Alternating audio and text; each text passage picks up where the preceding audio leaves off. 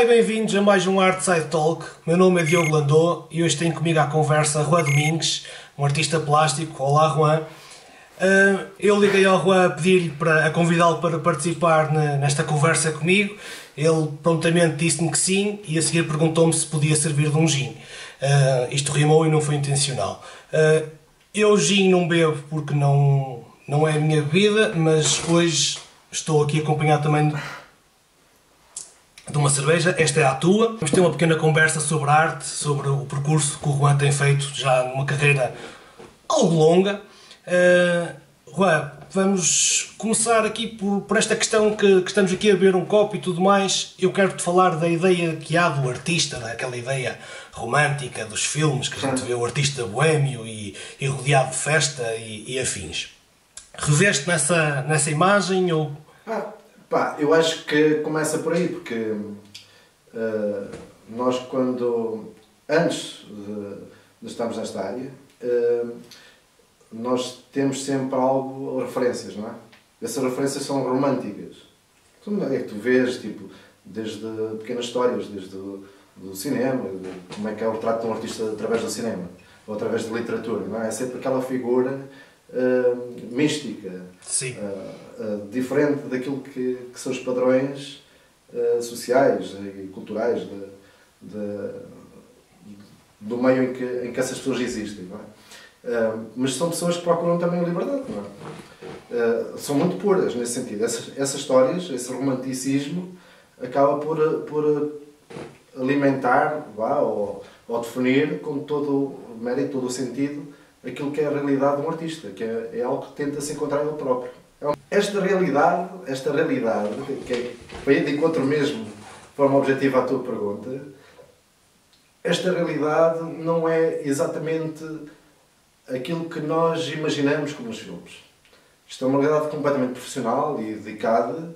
Uh, temos nossos, uh, uh, as nossas fantasias, vá, mas isso tal como qualquer outra pessoa, não somos demais, vá. Agora, aquela ideia, tipo, uh, como é que uma pessoa, não é, uh, que não esteja habituada, uh, pá, imagina, alguém se lhe oferecesse quando é criança, tu preferes ficar a tua vida toda isolado das pessoas durante 12, dias por, 12 horas por dia, sem ver ninguém, não é? Sim. Que viveram, mas, mas é, é algo que vai contra os padrões da, da nossa própria noção de ser humano e de existência. O nosso, Mas é algo que o artista faz. Contacto, o artista, quando sai à rua, sai cheio de energia.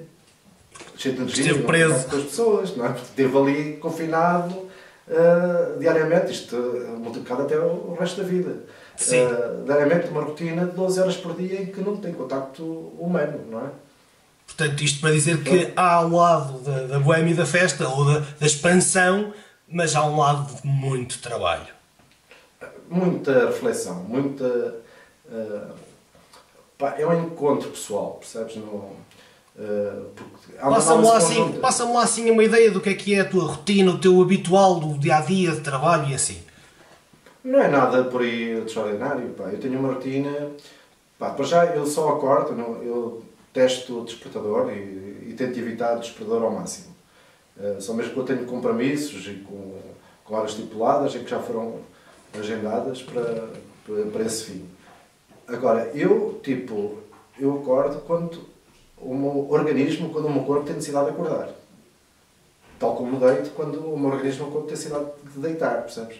Eu basicamente deito-me todo estafado e acordo completamente impecável, percebes? E por vezes durmo 4 horas, outras vezes durmo 8, outras vezes sou capaz de dormir 10 horas, percebes? Eu normalmente, quando acordo, eh, a primeira coisa que faço é além de, de, rever aquilo que tenho que fazer durante o dia todo, que vou sempre ao estúdio, eu tomo um pequeno almoço no estúdio, uh, eu, eu revejo tudo, eu leio aquilo que tenho que ler, uh, exercito um pouco aquilo que vou ter que fazer durante as próximas horas. Basicamente eu tento ali, uh, encontrar alimento ou matéria-prima para, para alimentar as horas que, que vão sucedendo. Uh, aí, basicamente, eu procuro a inspiração, não é? Sim. Que é aquilo que o pessoal chama de inspiração. E eu, vou, vou tentar fazer tipo um apanhado ou, ou, ou, ou ir de encontro àquilo que, que pretendo fazer, aquilo que as obras me estão a sugerir. Um, pá, depois disso, de fazer esse exercício, sou capaz de fazer um pequeno estudos, escrever um pouco, se calhar, sobre o tema. E uh, diz-me uma coisa, teu trabalho, opá, eu conheço o teu trabalho, estava há bocadinho a dizer, eu acho que tens um, um traço que é, que é fantástico, que é carregado de expressão e, de, e ao mesmo tempo de detalhe. Uh, como é que se chega aqui a nível técnico, a nível conceptual? Uh, Fala-me um pouco do teu trabalho para quem não conhece o teu trabalho. Pá, hum, isto uh, sempre fui muito interessado, uh, desde muito miúdo, com, com filosofia, história da arte. Pá, sempre foi áreas que me atraíram bastante. E, e, havia um fascínio enorme que eu tinha pela, por, por tentar perceber como é que funcionavam as máquinas, por exemplo. Tipo, vai, vai encontro tipo a engenharia. Sim. Uh, e um, eu tinha oferecido por isso. E esse, esse exercício, esse caminho, levou-me já para, para uma pesquisa profunda acerca de, das artes plásticas. Porque, tipo, parece que está tudo ligado, percebes? Sim. Um, e pá, descobri o, o Leonardo da Vinci, não é? Porque, que tinha essa ligação. Sim, também tinha essa ligação. E eu fiquei super fascinado com, com Da Vinci. Entretanto, Da Vinci levou-me para Rafael. E, Rafael e Miguel Ângelo. Pai, quando começo a ver, quando tenho acesso aos livros, de, aos desenhos de Rafael, eu disse, pá, isto é fantástico, isto é maravilhoso. Pá, e aí remete também para a caligrafia, em que eu sempre gostei muito da ideia, é, basicamente vai tudo chegar ao ponto do Da Vinci. Um, pá, a forma de escrever, desenhar letras, que eu comparo muito aquilo que é, que é a prática do artista, de, de, fazer isto, não é? Com, com a caligrafia. Uhum. Explica-me toda a gente consegue. Toda a gente, quando, quando me fazem a pergunta de, de que, ou quando assumem, tipo, ah, não sei desenhar e tal, desenhas bem, não sei desenhar. Não, toda a gente sabe desenhar. Tu podes não conhecer as regras. E eu comparo com a caligrafia. Tu, pá, tu se não sabes as regras da escrita do, do português, uhum. tu nunca na vida vais conseguir expressar. É verdade. Nunca. E tu, se souberes as regras, tu podes brincar com as situações, tu podes quebrar regras. Tu podes uh, escrever com as letras ao contrário, por exemplo. Que a tua própria percepção vai, vai uh, conseguir decifrar o que lá está. E essas regras, tu, como se diz na arte, é tu para conseguires ler um, trabalho, uma obra artística, tens que conhecer ou tens de ter a noção que essas regras são necessárias, que existem. Então, daí a minha comparação sempre com a, com a caligrafia. Pá, um texto em alemão, uma frase em alemão pode-me parecer muito bonita, não é? ou, ou horrível, Sim. Porque, mas eu também não percebo o sentido. Lá está. Eu não, não consigo traduzir porque não sei alemão. Eu tive essa experiência quando estive na Polónia ou, ou na Rússia pá, olhava para aquilo e eu, ok, o que é isto, percebes? É, é só a parte visual. Sim, pá, e, e agora aí tu agrada ou não agrada? É essa parte. Agora tu sabes o que lá está, o conteúdo é que já é. já te passa para outro ponto. E tu, a nível de temas, quando no teu trabalho, a figura humana é uma coisa que entra muito, tu também trabalhaste a muito. Humana, a figura humana foi algo que surgiu pela pesquisa, é algo que é académico. Eu sempre tive um exercício de, de explorar a figura humana quase até a exaustão. Mas é, é uma vertente académica. E nunca me consegui realmente desassociar disso. Uh, tipo, eu tento procurar na pintura um, uma libertação, e mesmo no desenho, uma libertação de, de, de regras, de, dessas condições de, académicas, compreendes? Sim. Uh, pá, eu conheço as regras, só que como tive tanto tempo e, e empenhei-me tal tanto, pá, tantas horas e tanto, tanto sacrifício que fiz em torno daquilo para conseguir compreender essas, essas regras, dominar delas. Sim. Porque existe esse tipo de diálogo. Sim, porque torna-se o Eu saiba, eu saiba como, como dar a volta, há sempre uma necessidade enorme de começar figurativo. Começa figurativo, depois tento partir para o abstrato. Porque é isso que eu ia agora falar. É. Tu, o, teu, o teu trabalho neste momento tem caminhado. Tu, tu começaste. Um, algum trabalho teu até era muito baseado na, no, no, retrato.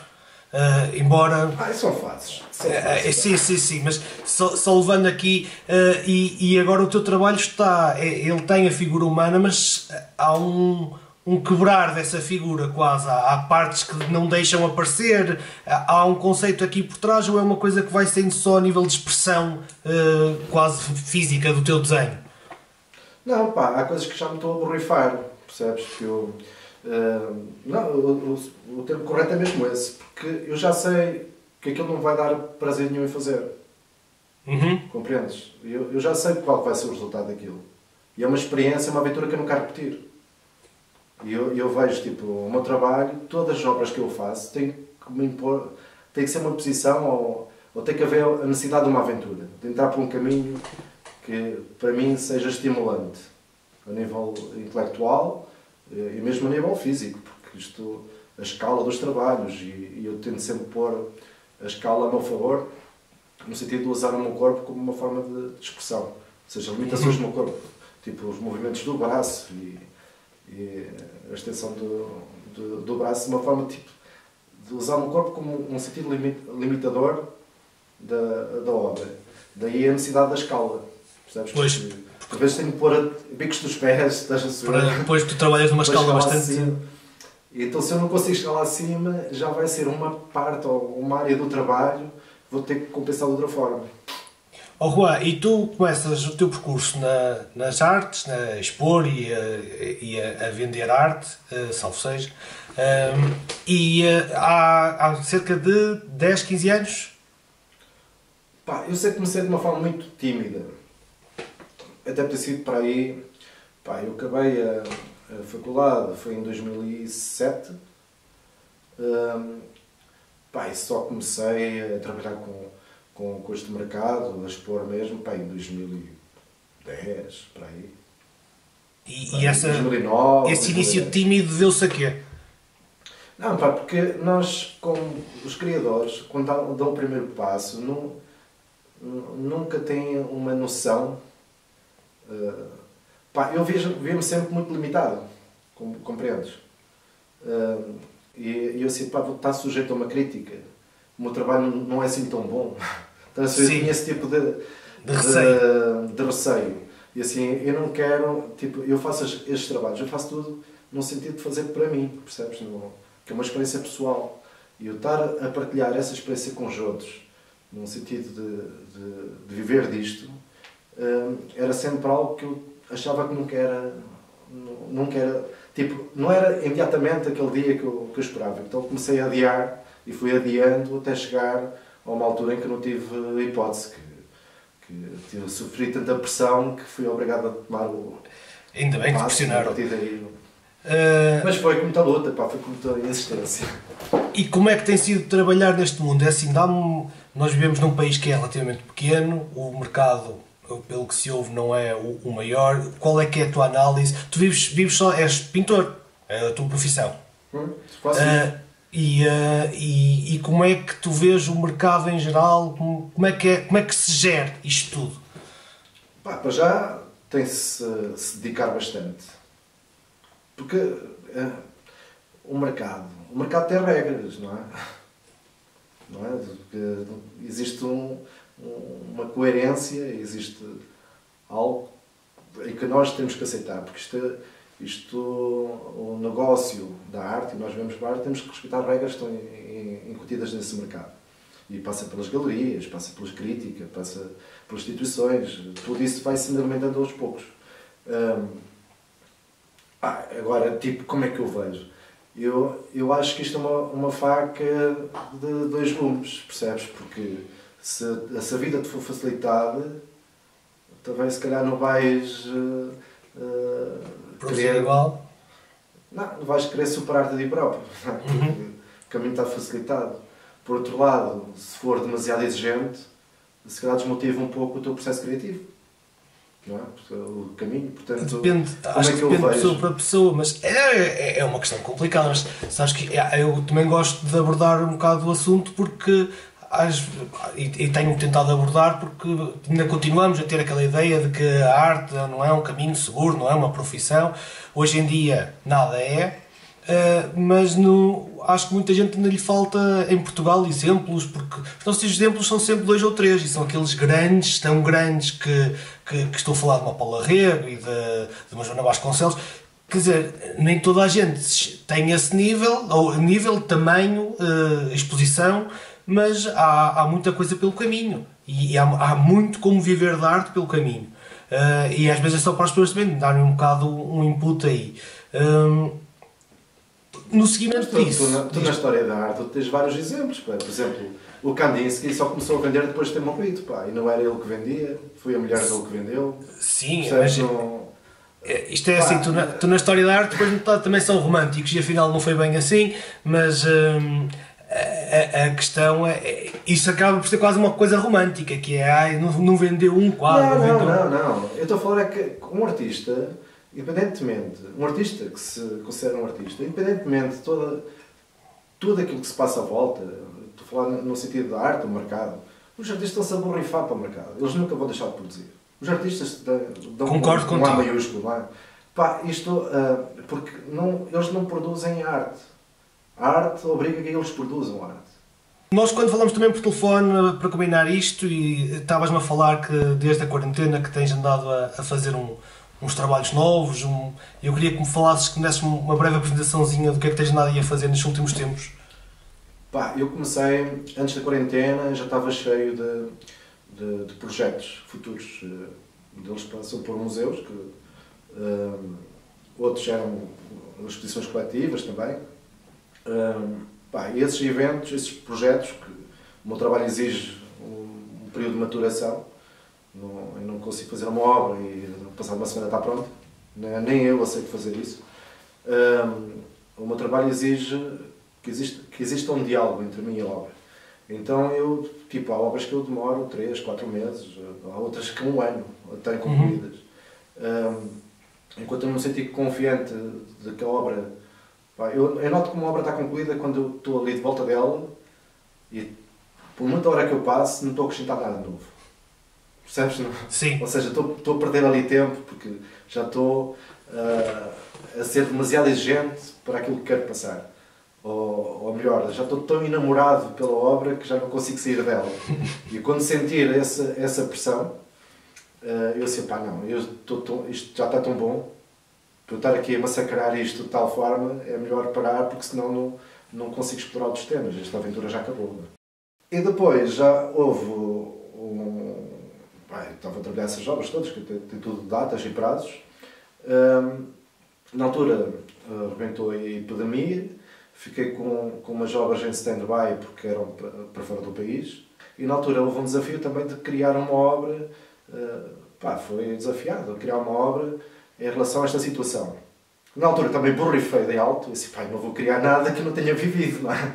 Uh, que não, não, não estou bem a par o que é que se passa, o que é que se está a passar. Porque é, é algo que era é recente novo. e novo para toda a gente, ninguém sabia.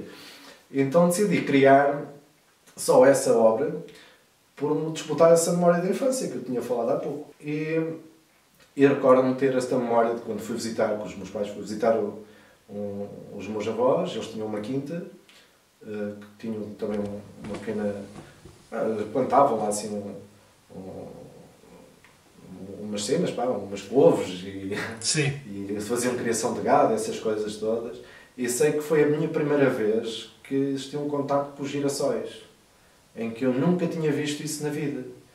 E, e agora imaginem eu com 6 anos, que tinha, pá, sei lá, uns 80 centímetros de altura, sei lá. Uh, era pequenino, pá, ali no meio. completamente rodeado daquelas flores gigantes, aquelas plantas gigantes, em que eu nunca tinha tido acesso. E agora imagina, um miúdo que uh, só fala espanhol, em que não entende nada que está à volta, uh, está a ver coisas que nunca viu na vida, que acha que está, tipo, parecia que estava num, num outro planeta, percebes? Não? Eu era mesmo e, e de uma forma ou de outra criou-se uma metáfora com esta situação do, do vírus, percebes? Que um bocado o que é que se passa. Olha, Juan, foi um prazer ter-te aqui no Artside Talk.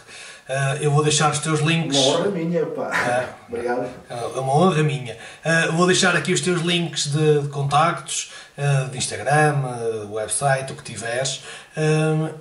a quem nos esteve a seguir. Se gostaram, façam like, façam follow. Por hoje é tudo e um grande abraço.